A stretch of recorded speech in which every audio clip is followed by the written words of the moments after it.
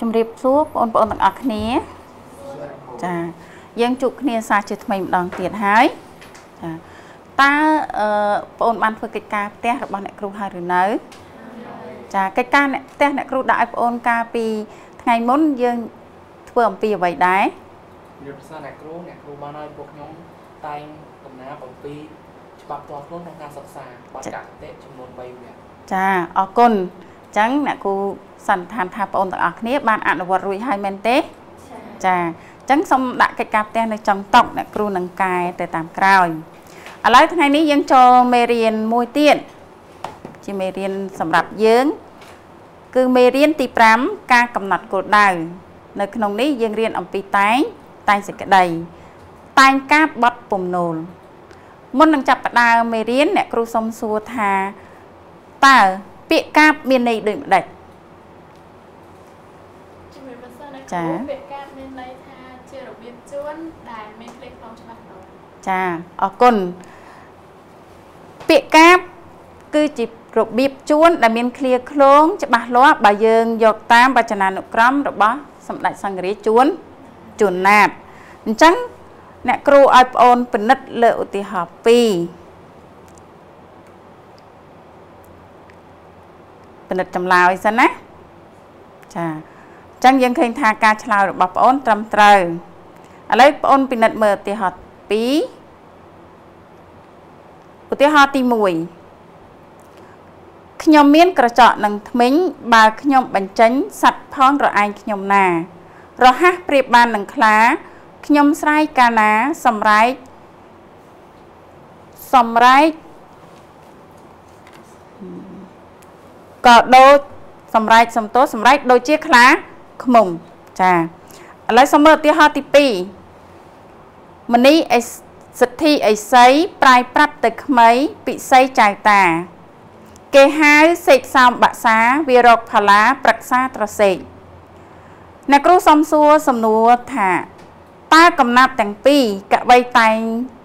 ជាបတ်អ្វីខ្លះ អូនជំរាបសួរអ្នកគ្រូអឺឧទាហរណ៍ទី1កវីបានតែងជាបទពំនូលចំណែកវគ្គទី2លោកកវីបានតែងជាបទប្រជុំលីលាចាអញ្ចឹងសូមទៀងទាត់លើចម្លើយរបស់អ្នកគ្រូតើត្រូវឬខុសត្រូវអត់មិត្តភ័ក្តិចាអញ្ចឹងឧទាហរណ៍ទី1គឺកបីតែងជាប័ណ្ណពំនូលឧទាហរណ៍ទី2គឺកបីតែងជាប័ណ្ណភុជងលីលីលាអញ្ចឹងសំណួរបន្តដែលអ្នកគ្រូសុំសួរទៅបងប្អូនទាំងអស់គ្នាចូលបង្ហាញរបស់ការតាមប័ណ្ណនីមួយនីមួយចាសូមបើសិនអ្នកគ្រូអឺបាត់ទី1បាត់គំនូលហ្នឹងអឺឃ្លាទី1មាន3ឃ្លាឃ្លាទី1និងឃ្លាទី3មាន6ព្យាង្គអឺរីឯឃ្លាទី2មាន4ព្យាង្គចាអរគុណហ៎បងណាឆ្លើយអឺរង្វង់ការប័ណ្ណប្រជុំលីលាចាជំរាបសួរអ្នកគ្រូបទប្រជុំលីលាគឺមួយឃ្លាមាន អេមួយវគ្គមាន3ឃ្លាហើយមួយឃ្លាទី1មាន6ព្យាង្គឃ្លាទី2និងទី3មាន4ព្យាង្គចាអរគុណក្នុងការឡើងបង្ហាញអញ្ចឹងសូមបងអូនទៀងទាត់ចម្លើយជាមួយអ្នកគ្រូចាត្រូវខុសចាពិតជាត្រឹមត្រូវឥឡូវអ្នកគ្រូសុំសួរសំណួរបន្តដើម្បីតែងកំណាប់មួយបានល្អតើគេត្រូវគិតទៅលើអ្វីខ្លះ ចាអឺជំរាបសួរអ្នកគ្រូដើម្បីតែងកំណាព្យមួយបានល្អគេត្រូវគិតពីអឺពីជួនឬចំណាប់ជួនអឺផ្ទួននិងរណ្ដំហើយម្យ៉ាងទៀតគឺត្រូវគិតពីអត្ថន័យរបស់វាចាអរគុណ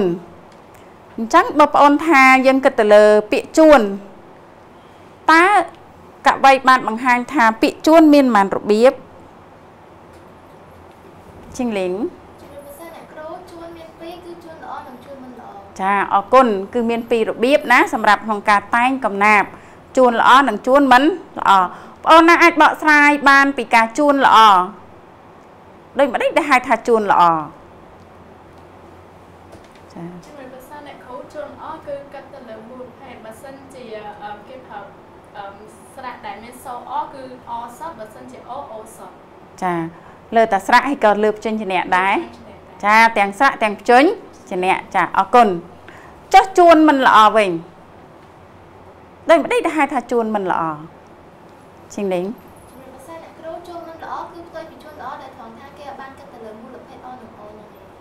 អត់គិតទៅលើមូលភេទអនិងអទេចាអរគុណអញ្ចឹងបងអូនទាំងអស់គ្នាចាំផ្ទៀងផ្ទាត់ចម្លើយជាមួយអ្នកគ្រូអញ្ចឹងចម្លើយត្រឹមត្រូវហើយនៅ ចាអរគុណ អ្នកគ្រូគ្រាន់សង្កត់បន្ថែមថាជួនល្អខ្លាចបងអូនច្រឡំណាព្រោះក្នុងការតែងកំណាពិបាកអញ្ចឹងពាក្យថាជួនល្អគឺគេគិតទៅលើមូលមូលភេទមូលភេទហ្នឹងអីគេគឺមានអមូលភេទអនិងមូលភេទអូចា ឥឡូវអ្នកគ្រូឲ្យឧទាហរណ៍ពាក្យណាអឬអូណពួកអស្រអាជាមួយប្រកបជាមួយព្យញ្ញៈពួកអទៅជាពួកអដូចគ្នា យើងអាចណាជួននឹងនេះជាសញ្ញាជួនជួននឹងអីជួននឹងពាក្យកាក៏ក៏បានកខ្យល់អឬខ្យល់អូ អចុះស្រអាប្រកបមួយខ្យល់អទៅជាអអានេះយើងអាចចាត់ទុកជាការជួនល្អឬជួនមិនល្អចាឃើញទាំងចញ្ញនៈទាំងស្រៈគឺស្ថិតនៅក្នុងមូលភេទដូចគ្នាចុះមួយទៀតជួនមិនល្អ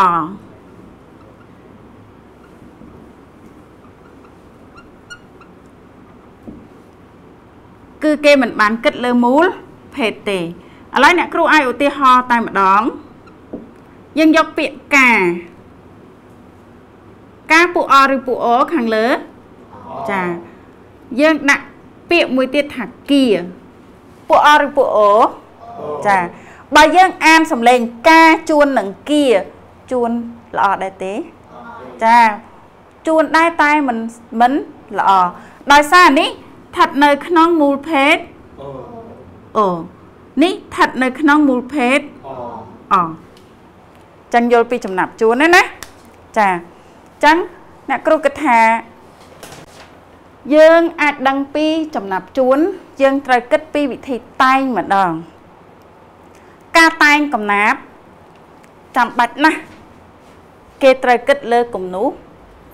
តាងគេគិតលើចំណាប់ជួនមុននឹងការតែងកំណាប់យើងត្រូវមើលទៅលើគំនូសតាងនិងចំណាប់ជួនសិន ថ្ងៃនេះយើងរៀនបទអីចាចុះហេតុអ្វីបានអ្នកគ្រូយកពូចុងលីលានិងពំនុលយកមកឲ្យបងអូនធ្វើជាឧទាហរណ៍ឲ្យឲ្យបងអូនឃើញគឺអ្នកគ្រូចង់ឲ្យយើងយល់ច្បាស់ថាបទពំនុលរង្វាស់កាបយ៉ាងម៉េចបទពូចុងលីលាមានរង្វាស់កាបដូចម្ដេចកុំឲ្យយើងច្រឡំគ្នាជាមួយពូចុងលីលានិងពំពំនុលអញ្ចឹងបងអូនដឹងច្បាស់ពីរង្វាស់កាបពូចុងលីលានិងពំពំនុលថ្ងៃនេះយើង តែងកំណាប់បទពំនុលបងអូនមើលគំនុះតាងណាអ្នកគ្រូបានគូសគំនុះតាងរួចហើយបន្ទាប់មកបងអូនមើលចំណាប់ជួន ចំណាប់ជួនមាន2គឺជួនក្នុងវគ្គឬក៏គេហៅមួយទៀតហៅល្បះនិងជួនឆ្លងវគ្គឬក៏ឆ្លងល្បះនៅក្នុងប័ណ្ណពំនូលយើងផ្ទៀងជាមួយនឹងគំនុះតាងព្យាង្គទី6ត្រូវខុសចាឃ្លាទី1 ជួននឹងព្យាង្គទី4ឃ្លាទី2វគ្គទី1ហេតុអីបានអ្នកគ្រូដាក់វគ្គទី1ដោយសារយើងឃើញថាក្នុងមួយវគ្គមាន3ឃ្លាអញ្ចឹងអានេះស្ថិតនៅក្នុងខណ្ឌខាងលើណាចាអញ្ចឹងក្នុងវគ្គទី1នេះគេហៅថាជួនក្នុងវគ្គចាដល់យើងមួយទៀតមើលមួយទៀតជួនឆ្លងវគ្គឬក៏លបាសជាងទី6ឃ្លាទីម៉ាន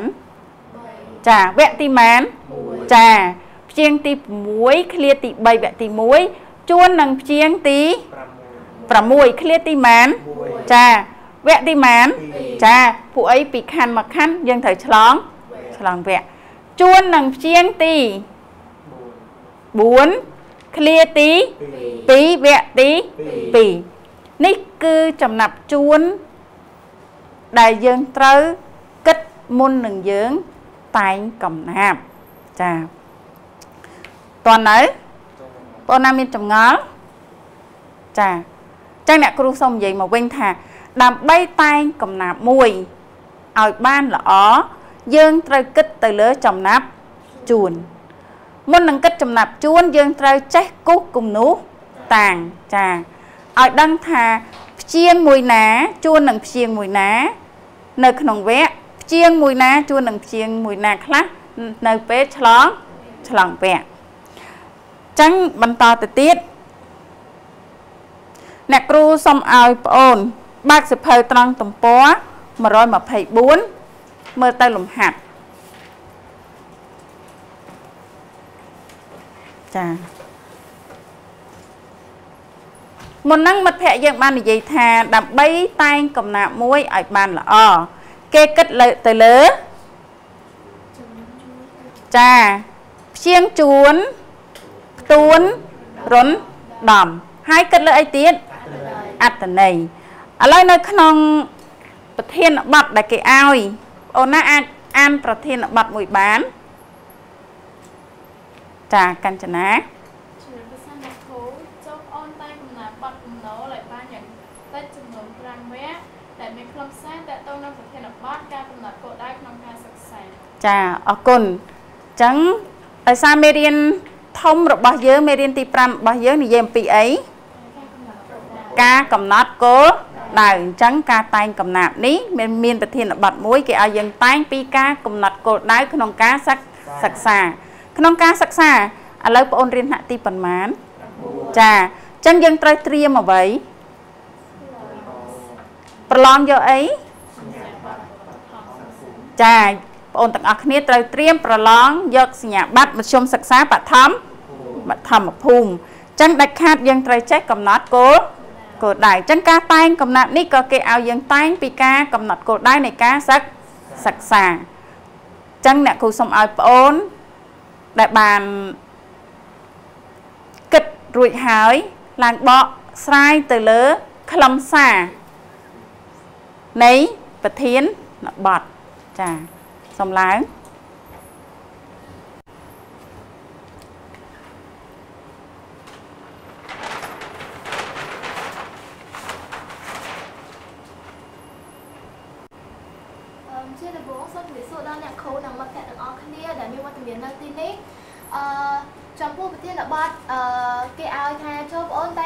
បទពំនោលឲ្យបាន5វគ្គនិយាយពីការកំណត់គោលដៅក្នុងការសិក្សាអញ្ចឹងអត្តន័យរបស់ប្រធានហ្នឹងគឺទី1 គេចេះគេចង់ឲ្យយើងចេះកំណត់ពេលវេលាក្នុងការរៀនកាលណាដែលយើងកំណត់ពេលវេលាក្នុងការសិក្សាយើងបានល្អយើងចេះលៃលកពេលហើយនឹងកិច្ចការរបស់យើងបានល្អអញ្ចឹងទៅនៅពេលដែលយើងធ្វើអ្វីមួយវាមានតាមលំដាប់លំដោយត្រឹមត្រូវហើយវាអត់ជាន់គ្នាហើយអញ្ចឹងទៅកិច្ចការរបស់យើងទៅបានរលូនអឺចំណុចទី ដែលយើងចេះរៀបចំផែនការបានច្បាស់លាស់ហើយយើងដឹងថាយើងនឹងត្រូវធ្វើអីទៅមុខបន្តទៀតអញ្ចឹងទៅនៅពេលហ្នឹងដំណើរការសិក្សារបស់យើងវាអត់រអាក់រអួលទេដោយសារយើងបានរៀបចំផែនការហើយហើយអញ្ចឹងនៅពេលដែលយើងធ្វើកិច្ចការបន្តទៅមុខទៀតយើងគ្រាន់តែអនុវត្តតាមផែនការដែលយើងបានរៀបចំហ្នឹងទៅការងារឬក៏ឬក៏ការសិក្សារបស់យើងហ្នឹងវាទៅបានរលូនអឺចំណុចទី3ខំប្រឹងអានសរសេរនិងធ្វើលំហាត់ អឺជាធម្មតាមិនថាយើងចេះប៉ុណ្ណាឯនៅពេលដែលយើងខិតខំបន្ថែមអានសរសេរនិងលំហាត់ចំណេះវិជ្ជារបស់យើងក៏កាន់តែកើនឡើងជាលំដាប់ហើយយើងក៏កាន់តែអឺស្ទាត់ក្នុងការអានហើយនិងសរសេរនិងធ្វើលំហាត់នឹងដូចថាអឺយើងអាចអានទៅបានច្បាស់អត់រអាក់រអួលសរសេរបានល្អអត់ខុសអត់ខុសវេយ្យាករណ៍ឬក៏ពាក្យហើយនឹងធ្វើលំហាត់បានល្អដែលយើងចេះដោះស្រាយបញ្ហាផ្សេងៗក្នុងលំហាត់ហ្នឹងបានត្រឹមត្រូវ ចំណុចទី4ស្រាវជ្រាវបន្ថែមនៅក្នុងបណ្ណាល័យអឺអាហ្នឹងតកតងនឹងចេះកំណត់ពេលវេលាដូចថានៅពេលដែលយើងទំនេរពីការសិក្សាអញ្ចឹងអឺយើងអត់គួរយកពេលវេលារបស់យើងហ្នឹងទៅចំណាយចោលទេយើងគួរតែទៅក្នុងបណ្ណាល័យអឺទៅរកសភៅរកអីហើយសិក្សាបន្ថែមដែលតកតងនឹងមេរៀនរបស់យើងមិនថាមុខវិជ្ជាអីទេយើងអាចរកបានទាំងអស់ហើយចំណុចចុងក្រោយស្រាវជ្រាវបន្ថែមតាមប្រព័ន្ធបច្ចេកវិទ្យា អឺសម្រាប់សម័យនៅក្នុងឆ្នាំ2020នេះអឺប្រព័ន្ធបច្ចេកវិទ្យារបស់យើងបានរីកចម្រើនមែនតើអញ្ចឹងសិស្សានុសិស្សទាំងអស់អាចស្វែងរកព័ត៌មានបន្ថែមតាមប្រព័ន្ធអ៊ីនធឺណិតដូចជា Google ឬក៏ Facebook YouTube អីដែលពួកគាត់អាចសិក្សាបន្ថែមខ្លួនឯងទៅលើមេរៀនណាដែលពួកគាត់អត់សូវយល់ចាអស់ហើយចាអរគុណអអរគុណដល់ការបកស្រាយបានក្បោះក្បាយហេតុអីបានយើងចាំបាច់ត្រូវគិតទៅលើអត្តន័យ បងណាអាចឆ្លើយបានហេតុអ្វីបានយើងត្រូវចាំបាច់គិតទៅលើអត្តន័យរបស់ប្រធានចាជីងលីងជំរាបសួរអ្នកគ្រូបានជាយើងត្រូវគិតទៅលើអត្តន័យរបស់ប្រធានដើម្បីឲ្យការតែងកំណើរបស់យើងហ្នឹងវាទៅបានល្អហើយវាអត់ចាក់នឹងប្រធានដែលគេឲ្យចាអរគុណត្រឹមត្រូវការតែងកំណាព្យប្រៀបដូចជា ការកំណត់ទិសដៅដែរអញ្ចឹងយើងត្រូវ រកអត្តន័យរបស់ប្រធានមុន ក្នុងការតែងកំកំណាព្យអញ្ចឹងប្រធានបទដែលគេឲ្យគេនិយាយពីការកំណត់គោលដៅក្នុងការសិក្សា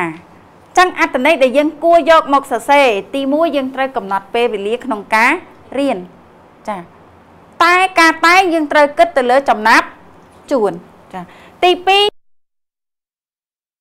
លាស់អញ្ចឹងការតែងរបស់យើងពឹងផ្អែកទៅលើអត្តន័យរបស់ប្រធានទាំង ទាំងស្រុងណាតាមពិតមានច្រើនទៀតប៉ុន្តែដោយសារគេដាក់5វគ្គយើងជ្រើសរើស5ចំណុចយកមកតែងសាក់បងនេះជាការតែងការហាត់តែងកំណាប់យូរយូរទៅនឹងធ្វើឲ្យបងអូនចេះតែងតែងកំណាប់បានច្រើនអញ្ចឹងដើម្បីបន្តអ្នកគ្រូគ្រាន់តែសុំឲ្យបងអូនមើលកំណាប់ដែលអ្នកគ្រូតែងជាឧទាជាឧទាហរណ៍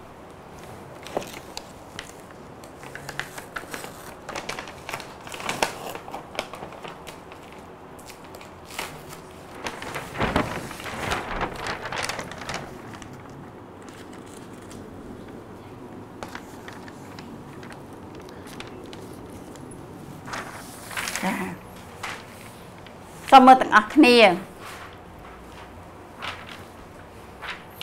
មិញអត្តន័យ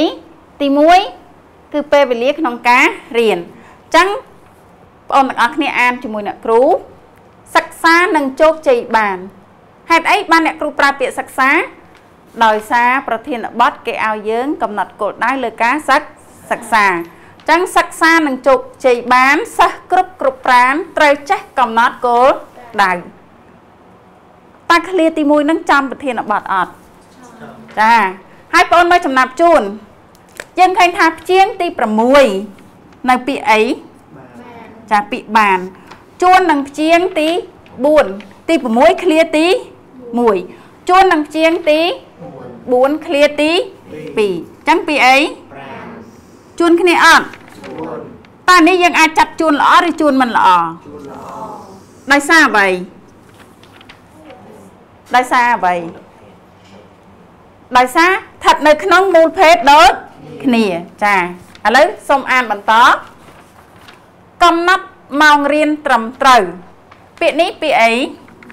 ដៅត្រូវជួនទេជួនអញ្ចឹងដៅជួននឹងត្រូវដើម្បីឈ្មោះទៅជួនអត់ចាឥឡូវបើយើងមើលទៅលើការជួនវិញ ជាងទីម៉ាន6នេះព្យាង្គទីម៉ាន6ដូចគ្នានេះវគ្គទីម៉ានចាចុះនេះចាវគ្គទី2ដោយសារយើងឆ្លងវគ្គហើយឆ្លងខណ្ឌហ្នឹងណាអញ្ចឹងយើងឃើញព្យាង្គទី6ឃ្លាទីម៉ាននេះអូនទី3វគ្គទី1ជួននឹងព្យាង្គទី6ឃ្លាទី1 វគ្គទី2ជួននឹងព្យាង្គទី4ឃ្លាទី2វគ្គទី2ឥឡូវបើយើងគិតពីចំណាប់ជួនវិញតើជួនល្អឬមិនល្អមិនល្អកន្លែងណាចាមិនសូវជួនគ្នាទេដោយសារសំលេងខុសខុសគ្នាហើយស្រៈក៏ខុសគ្នាចឹងយល់ច្បាស់ហើយការជួនល្អនិងជួនមិនមិនល្អ ឥឡូវបងប្អូនមើលបន្ត ការរៀបចំផែនផែនការរៀនចាប្រឹងអានសរសេររបៀនជួនអត់ចឹងរៀនជួននឹងររបៀនយើងឃើញការជួនដដែល លំហាត់ជាស្ពានដំណោះស្រាយរាល់ការការគិត ចានេះជាឧទាហរណ៍3វគ្គឥឡូវគិតទៅលើអត្តន័យនៃកំណាម្ដងមិញវគ្គទី1បងអូនថាត្រូវចំនឹងប្រធាននបတ်ឥឡូវយើងមើលក្នុងវគ្គទី2កំណត់ម៉ោងរៀនត្រឹមត្រូវដើម្បីឆ្ពោះទៅរៀបចំផែនការរៀនត្រូវនឹងអ្វីដែលបងអូនគិតថាត្រូវនៃនឹងប្រធានបတ်អត់ចាគឺកំណត់ពេលវេលាច្បាស់លាស់ក្នុងការរៀបចំផែនផែនការ ប្រឹងអានសរសេររបៀនលំហាត់ជាស្ពានដោះស្រាយរាល់ការគិតចឹងត្រូវអត់ចាត្រង់នឹងឲ្យដែលអ្នកគ្រូថាមុននឹងតែងកំណាប្អូនត្រូវរកអត្តន័យនៃប្រប្រធាន ដើម្បីឲ្យការតែងកំណាព្យរបស់យើង ទៅតាមលំដាប់លំលំដោយមិនធ្វើឲ្យប្អូនគិតថាម្ដងយើងសរសេរបែបនេះម្ដងយើងសរសេរបែបនេះតោះនេះបងណាឆ្ងល់អាចសួរអ្នកគ្រូបាន ចាចឹង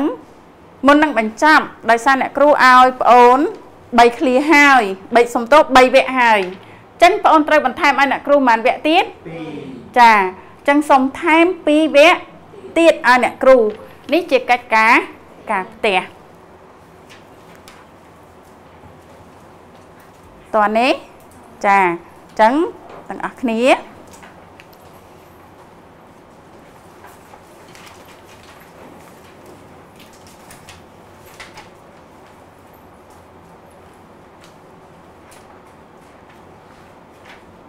ចាប់ផ្ដើមចាអរគុណច្រើនក្នុងការចូលរួម ការរៀនជាមួយអ្នកគ្រូអរគុណចា